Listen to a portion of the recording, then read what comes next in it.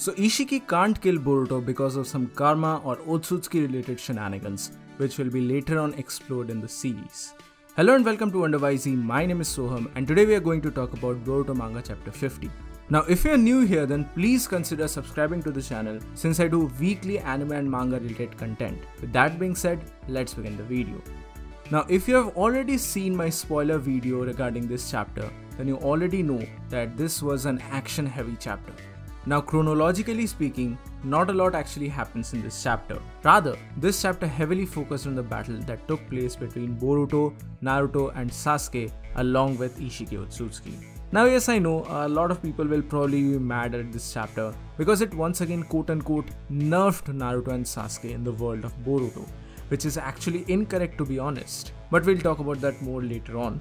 But for now we can see that Boruto has teleported all of them into this new pocket dimension, at which Naruto is very surprised. He asks him which place is this. To this Boruto replied quite well that he has seen the Otsutsuki clan members do this teleportation kind of a thing to a totally different dimension. And now since he has access to karma, so he thought he can also do something like that. And he can't stand to see the destruction of Konoha. That's why he teleported all of them here, so that here the battle can take place uninterrupted without any problems. And here is the final place where everything will be settled. So this immediately reminded me a lot about the time skip because everything is slowly coming up in place. We have Boruto wearing Sasuke's headband, and the teasers for Sasuke's eventual death and everything, so things are eventually coming to their places. But either way, the fight finally starts. Now, I won't go over each and every panel of this chapter because the action is really good. Like, it really reminded me of old school Naruto mixed in with the new age of shinobi as well as the Otsutsuki shenanigans. Now, one particular bit of interaction which I really enjoyed was the one between Naruto and Boruto. After Boruto declared as to why he teleported all of them here to this dimension, Naruto replies that he might have gotten all of this from his genes after all. Like, this attitude of him is actually because of Naruto himself. So, this acknowledgement by Daddy Naruto was really, really sweet in my opinion. Now we got some very decent action here because Isshiki Otsutsuki straight up chokeholds Boruto and then Sasuke switches places with the help of Rinnegan. Now here the spoilers for the chapter finally begin because Sasuke tried to carry out a point blank Chidori on Isshiki Otsutsuki which was immediately stopped by him on face and he just throws away smacks down Sasuke to the ground this was kind of painful to see, not gonna lie, but this definitely goes on to show the prowess of Isshiki Otsutsuki. Also, one thing which I forgot to mention here is the statement given by Isshiki Otsutsuki in regards to Boruto. He says that the karma progression inside of Boruto has reached up to 80%. 80%, can you believe that? So Boroshiki is coming up very soon. So it might happen in the next chapter or the chapter after that, or we can maybe see it after Boruto witnesses some very tragic event, say something like the death of Sasuke. I'm still not convinced that Naruto will die so soon, but the death flags for Sasuke are all over the place. Now we also get to see some decent action from Naruto who is trying to go all out. I mean yeah, he doesn't use something outlandish, say something like the magnet release Rasen Shuriken.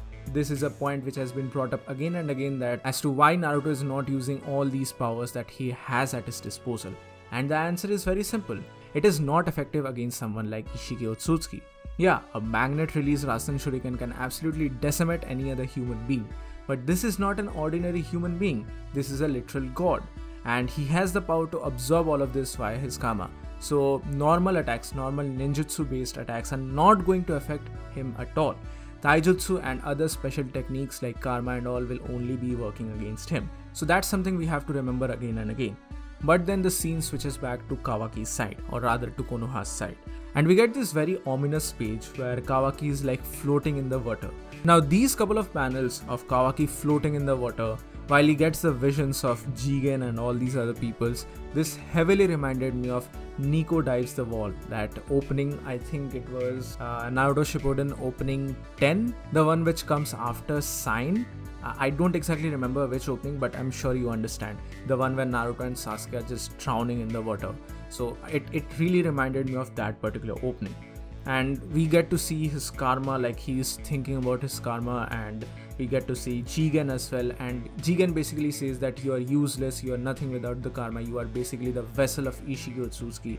So I'm just thinking the psychological manipulation of Kawaki is still going on even after he has technically been freed of the karma mark. Now after this Kawaki wakes up to find Amado by his side and there's also Shikamaru in the room and the scene is now taking place inside Konoha and Konoha's sensory team is just trying to find everyone. Like where did Isshiki, Boruto, Naruto and Sasuke went? Like they have no trace and all of their chakra has absolutely vanished. There's a lot of interesting interactions that take place here with Shikamaru telling Kawaki that he's finally freed now to which Kawaki replies that is this really freedom when Isshiki Otsutsuki himself is trying to hunt me down and is trying to hurt the Konoha village because of me. So there's a lot of good interactions between all the three of them, which is when Konoha finally gets to learn that the three of them have been teleported to a different dimension via the karma mark of Boruto. This is a big surprise for Katasuke and Sumire as well, who are also present there. But then Amado replies that no, Boruto is not a normal Genin anymore. He has one particular power which no one else has currently,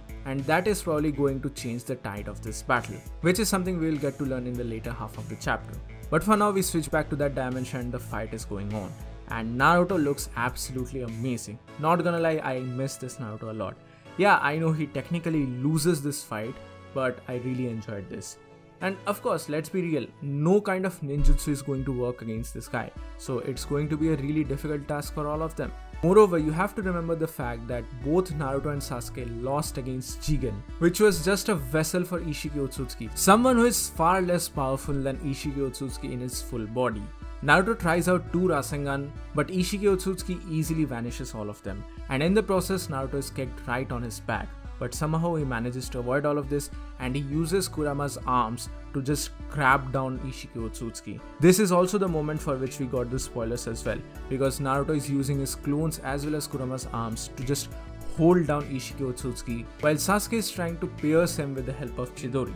But then once again the tables are turned quite quickly because Isshiki Otsutsuki is able to move out of harm's way by using his dojutsu and summoning these huge cube-like structures like if I'm not wrong, these cubes were also present during the initial introduction of the Kara organization. These dimensional cube-like things, these huge things. It seems like Naruto is stuck in one of them but it only turns out to be a clone and I'm not sure what exactly the purpose of this thing is. I really don't think that these are just meant for crushing purposes. I feel like there are going to be much more nuances to all of this. Probably something like a sealing jutsu or something like that. But for now, we see that Naruto and Sasuke have escaped from these cubes. But Sasuke is quickly taken down by Isshiki Otsutsuki. He shrinks down his sword and Isshiki Otsutsuki is about to stab Sasuke. Again, we have seen all of this in the spoilers, but this was really good to see. And now here comes the most important part of the chapter. Sasuke is about to be impaled by his own sword by Isshiki Otsutsuki when Boruto spots this and he tries to save his sensei. He throws himself in front of Sasuke and I think he also throws a chunk of rock via which Sasuke was able to use his Rinnegan powers to teleport and this is how Boruto was eventually able to save Sasuke. But here is the main revelation of the chapter. Boruto has a smug face here and he blatantly goes on to ask Isshiki you cannot kill me, right? And this is the thing. This is the thing. We are about to get much more nuances from the Karma Mark as well as the Otsutsuki clan. I don't exactly know what is going on here as to why Isshiki Otsutsuki won't be able to kill Boruto. Like, like yeah, sure, we all know that Boruto is the vessel of Momoshiki. But why exactly Isshiki can't kill someone who is the vessel of Momoshiki? Is it something related to some Otsutsuki law where one Otsutsuki cannot kill another Otsutsuki? But we have already seen something like that in the anime, right? Well, that can be excluded because that is anime filler only stuff. So I, I don't really know how the manga is going to tackle something like that. Or else we can very well get to see something like a caste division in the Otsutsuki clan.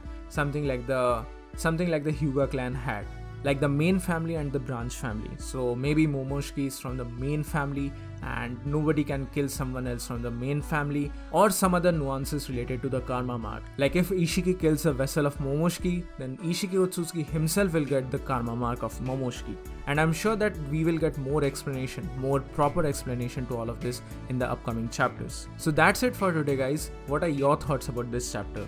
Personally, I really enjoyed this chapter. Although not a lot happens in this chapter narrative wise, but I still enjoyed it quite a lot. So please mention your thoughts in the comment section below. So that's it for today guys, thank you so much for watching. Please give this video a thumbs up if you like it, share it with your friends and subscribe to the channel for more.